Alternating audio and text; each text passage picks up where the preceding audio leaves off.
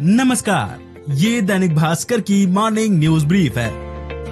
आज 23 सितंबर है, बुधवार का दिन है।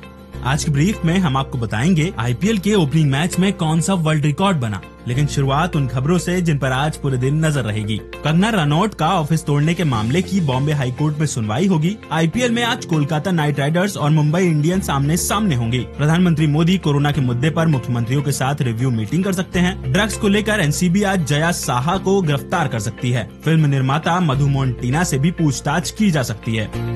अब कल के दिन ऐसी जुड़ी अहम खबरें जान लीजिए।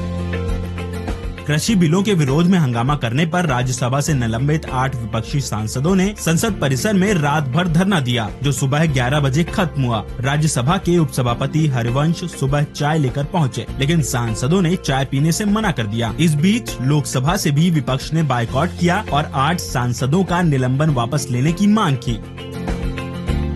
नारकोटिक्स कंट्रोल ब्यूरो ने ड्रग्स मामले में दीपिका पादुकोण और उनकी मैनेजर करिश्मा प्रकाश के बीच हुई बातचीत का खुलासा किया है, जो 28 अक्टूबर 2017 को हुई थी। अगर दीपिका जाँच के घेरे में आती हैं तो उन पर गंभीर धाराओं में मामला दर्ज हो सकता है। इस मामले में दिया मिर्ज़ा का नाम भी सामने आया है।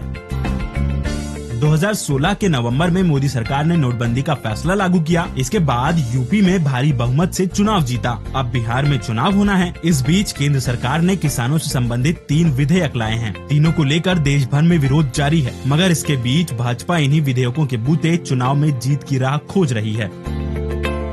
चुनावी हलफनामे को लेकर एनसीपी यानी राष्ट्रवादी कांग्रेस पार्टी के प्रमुख शरद पवार, महाराष्ट्र के सीएम उद्धव ठाकरे और आदित्य ठाकरे जैसे कुछ अन्य नेताओं को इनकम टैक्स का नोटिस मिला है। शरद पवार ने इसकी पुष्टि करते हुए केंद्र सरकार आरोप तंज कसा और कहा की वो लोग मुझे बहुत चाहते हैं।